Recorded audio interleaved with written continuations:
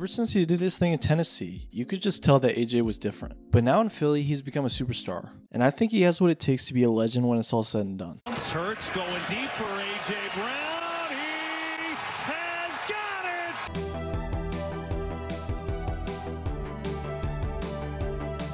it. Out of Starkville, Mississippi, Arthur Juwan Brown grew up as a standout in any sport that he played as simply an athletic phenom.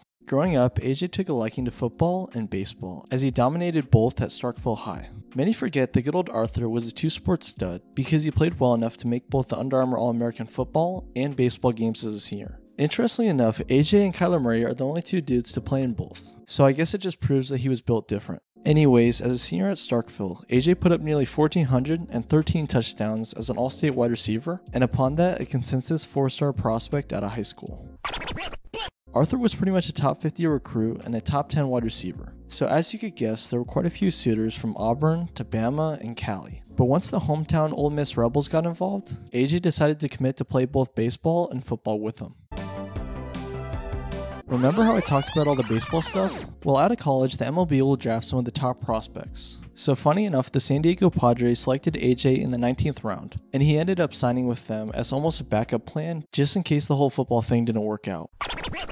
Going into his first season with the Rebels, AJ was looking to make an impact from the very get go, and although it's usually a fever dream, my man put up an impressive over 400 and two touchdowns as a freshman. Usually, most players sit out the first year with a red shirt, but AJ is a bit diffy than most other studs. Even the absolutely dominant DK Metcalf, who somehow only put up two catches for 13 yards, although both of which went for touchdowns.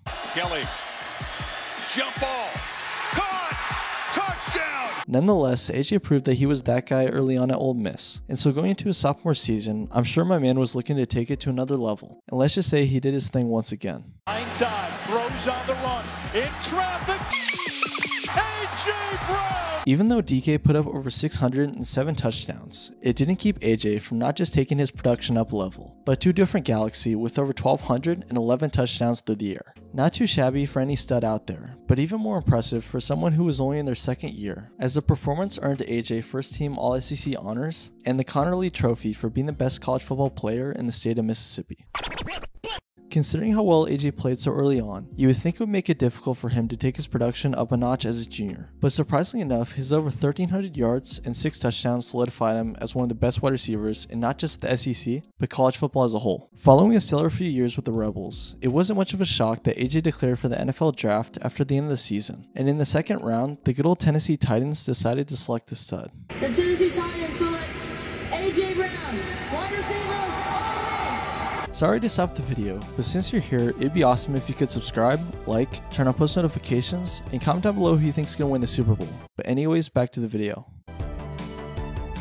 AJ was taken by Tennessee in the second round at 51st overall, just 13 picks ahead of his insanely jacked teammate in DK, who ended up going to the good old Seattle Seahawks. Considering how early on AJ was able to have an impact at Ole Miss, I'm sure he was looking to do the same thing on the next level. And even though it's much more difficult in the league, since the Titans didn't have all that much depth at receiver, he was able to do his thing. Tannehill lets it rip downfield, one on one, caught over the shoulder.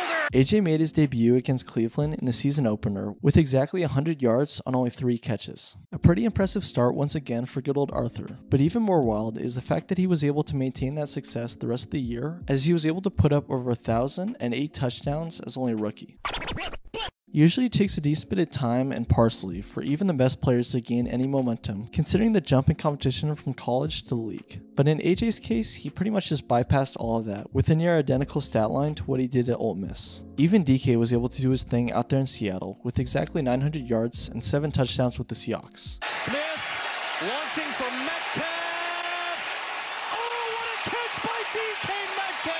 Anyways, AJ was pretty damn good as a rookie, and in fact good enough to put up a thousand in only his first year with the Titans, which once again proved that he was a stud no matter what team he was on. Even though AJ had an impressive rookie season, and upon that had already shown that he can hang with some of the big dogs in the league, the fact that he wasn't on a big market team like Dallas or LA led to him getting overshadowed by fellow colleagues DK and Deebo. Right now, third down and three, quick throw, what a catch!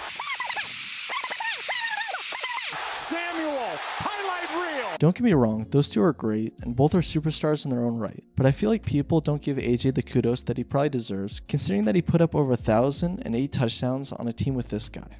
Here's Derrick Henry trying to get the big guy going.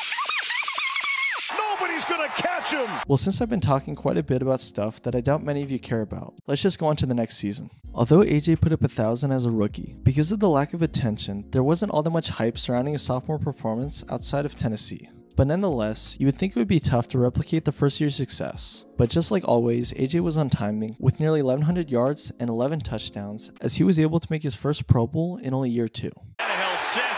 Gonna throw it deep. AJ Brown, he's got it. Back to back 1,000 yard seasons for AJ were not too shabby of a start for an Ole Miss stud, considering that he only played 14 games in 2020. And so it seemed like the sky was the limit for what he could do in his third year with the Titans, even with Derrick doing his thing on the ground. Just like the previous season, AJ dealt with injuries, but instead of knee stuff, this time it was a chest injury that he suffered midway through the year, which kept him out of three games, and upon that prevented him from a third straight 1,000 yard season, as this time he was only able to put up 850 and 5 touchdowns. Although he had been dealing with injuries for back to back years, it seemed like AJ was going to stay in Tennessee for quite some time. But then, Let's go. How about this trade that just went down? turns out the Titans management didn't want to shell out the cash that AJ wanted. And I guess Philly was a okay with it, as they signed him to a four year, $100 million deal, as Tennessee was able to get back a first and third round pick. To say that the move was out of nowhere is a massive understatement, because even people within the organization were shocked from Vrabel all the way down to the players, since it didn't seem like something that would ever happen, considering just how well AJ had been playing. But then again, nothing really is what it seems. After an impressive turnaround behind MVP candidate Jalen Hurts and the pickup of DeVonta Smith the year before, adding AJ made the Eagles' offense seem as dangerous as any in the league. So since they were able to go 9 and 8 the previous season and now had one of the most talented younger players in the league lining up opposite the super underrated DeVonta Smith, let's just say they were able to take it to another level. Hurts pulls it, throws it to Brown with a step in the secondary. He will score.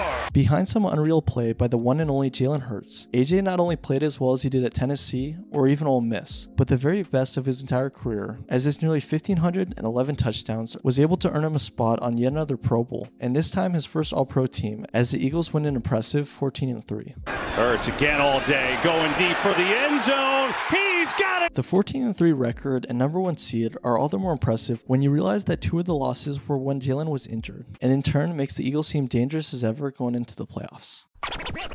Both AJ and DeVonta were dominant all year, and so even though AJ put up nearly 1,500, DeVonta was still able to do his thing with nearly 1,200 and seven touchdowns in only his second year, as he was dominant in his own right.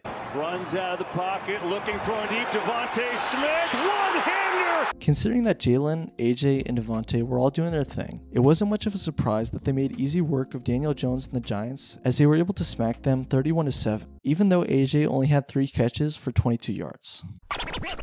But for AJ, it didn't matter that Philly destroyed New York, as he was mad at his production, and so even though Philly was able to destroy San Francisco, he once again was frustrated after underperforming. Considering the lackluster production so far this playoff run, I'm sure AJ is looking to demolish the Kansas City secondary. And you know what? I think he could do his thing considering how well he's been able to play all season. But hey, you never know. What do you guys think about AJ Brown? Is he one of the best receivers in the league, or is he always just going to be overshadowed by studs like Justin and Tyreek? Comment down below your thoughts. AJ Brown is one of the most underrated yet talented players in football, so I think the future for him in Philly is about as bright as it gets. And hey, let's just say a Super Bowl wouldn't be too shabby. And in 10. Oh boy, deep ball it is.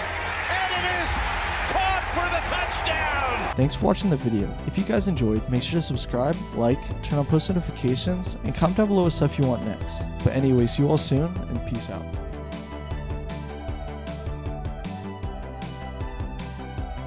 I'm the biggest bird. I'm the biggest bird.